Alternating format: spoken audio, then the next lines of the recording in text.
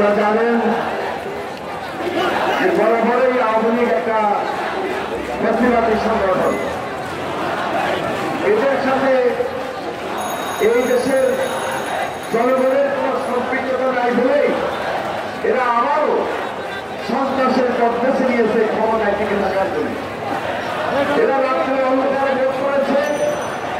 এরা সন্ত্রাস করে সে বাহাত্তর থেকে পঁচাত্তর পর্যন্ত যে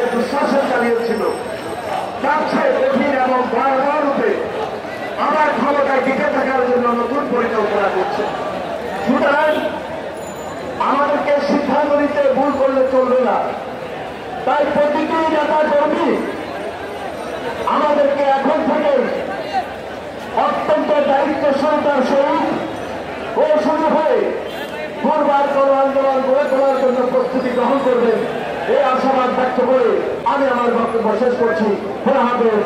বাংলাদেশ জিন্দাবাদ জাতীয়তাবাদী দল জিন্দাবাদ শহীদ জামল হোক দেশ নেত্রী বেগম খালেদা জিয়া জিন্দাবাদ আগামী রাষ্ট্রনায়ক তারেক রহমান জিন্দাবাদ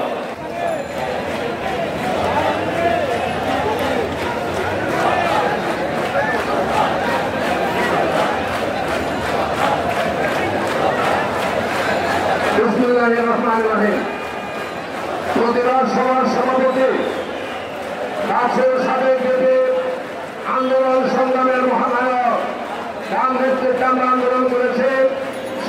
মন্ত্রী সাবেক এমপি ঢাকা মহানগরী বিএনপি দলের বিপ্লবী আহ্বায়ক জননেতা আমানুর রহমান প্রধানমন্ত্রী আমাদের অভিভাবক, আমাদের শ্রদ্ধাবজন শিক্ষক, ঢাকা বিশ্ববিদ্যালয়ের যার পরামর্শে আমরা দীর্ঘদিন রাজনৈতিক আন্দোলনে আমরা সম্পৃক্ত ছিলাম। বিএনপির স্থায়ী কমিটির সদস্য ডক্টর খন্দকার মোশারফ হোসেন স্যার, দক্ষিণের প্রিন্সিপাল থানা মুক্তিযোদ্ধা আব্দুল সালাম সাহেব সহ বিএনপি নেতৃবৃন্দ সংগঠনের নেতৃবৃন্দ বন্ধুগণ অবৈধ প্রধানমন্ত্রীর অসামের বক্তব্যের প্রতিবাদে প্রতিবাদ করতে যাওয়ার পরে সশস্ত্র হামলা করেছে দুর্নীল ছাত্রলীগের যুবলীগের গুন্ডা বাহিনী অবৈধ প্রধানমন্ত্রী আপনি যে অপরাধ করেছেন যে অন্যায় করেছেন তার সমাধান কিন্তু ছাত্রলীগের দিয়ে হবে না আক্রমণ করে হবে না এই সমাধান হচ্ছে আপনাকে নিঃশব্দ ক্ষমা চাইতে হবে। প্রিয় বন্ধুরা এই পর্যায়ে বক্তব্য রাখার করছি জাতীয় দল বিদ্যুৎ বিপ্লবী সাংগঠনিক সম্পাদক, ঢাকা বিরোধী সাংগঠনিক সম্পাদক সাবেক যুব নেতা, অ্যাডভোকেট আব্দুল সালাম আজাদ।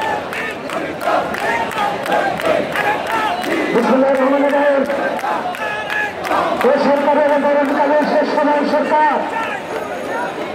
আজকে আমাদের একটা বক্তব্য হবে এই সরকারের পতন ঘটাতে হবে আজকে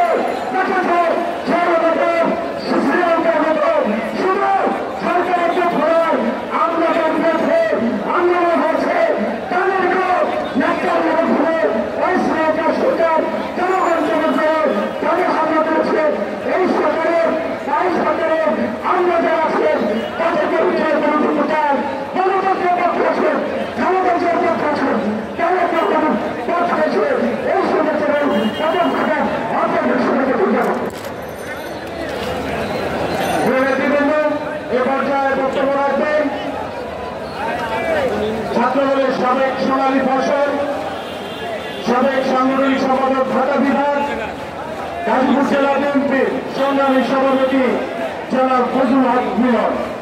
আজকের এই সমাবেশে এ পর্যায়ে বক্তব্য রাখার জন্য অনুরোধ করছি জাতীয়তাবাদী ছাত্র দলের সাবেক সফল সভাপতি সাবেক সফল এমপি, বিএনপির বিপ্লবী প্রচার সম্পাদক জনতা শহীদুদ্দিন চৌধুরী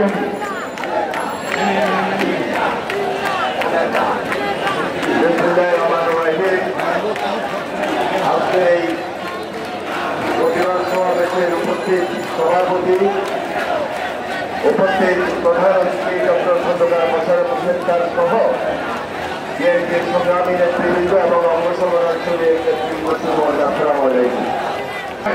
কেন রেলিয়ে দেওয়া হয়েছে? আমরা পরিষ্কার হতে চাই, ঢাকা বিশ্ববিদ্যালয়ে বাড়িতে চাই আপনি কি করেছেন এই গুন্ডা বাহিনীদেরকে আপনি সামাল দেন। এই অস্ত্রবাদকে আপনি আইনের আওতায় নিয়ে আসেন। আজকে সুপ্রিম কোর্ট সর্বোচ্চ আদালতে সশস্ত্র হামলা হয়েছে আমরা বলতে চাই খনি হাসিনাকে আমরা বলতে চাই, মাফিয়া সরকার প্রধানকে। আমরা বলতে চাই, ছাত্রলীগের অভিভাবককে। হুশিয়ার করে দিতে চাই জাতীয়তাবাদী ছাত্র দল একা নয়। ছাত্র দলের উপরে হামলা, এটা বিএনপির উপরে হামলা জাতীয়তাবাদী ছাত্র দলের উপরে হামলা যুব দলের উপরে হামলা, জাতীয়তাবাদী ছাত্র দলের উপরে হামলা, জাতীয়তাবাদী স্বেচ্ছাসেবক দলের উপরে হামলা। আমরা আজই এই হামলা যদি অব্যাহত থাকে যুব দল স্বেচ্ছাসেবক দল, ঢাকা মহানগরী, উত্তর, দক্ষিণ, আমরা সবাই ঘেরাও করে এই জাতীয়তাবাদী ছাত্র দলের গুন্ডা বাহিনীদেরকে আমরা বিতাড়িত করব, বাংলাদেশের গণতন্ত্র পুনরুদ্ধার করব। সেই দৃঢ় প্রত্যয় জানিয়ে, বাংলাদেশ সালাম জানিয়ে আমি আমার বক্তব্য শেষ করছি।